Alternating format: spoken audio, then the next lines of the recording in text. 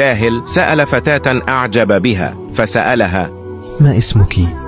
قالت له مادموزال سارة قال لها ماذا تعني مادموزال؟ قالت له يعني أنا عازبة غير متزوجة وأنت ما اسمك؟ فقال لها بكل ثقة مادموزال عبد القادر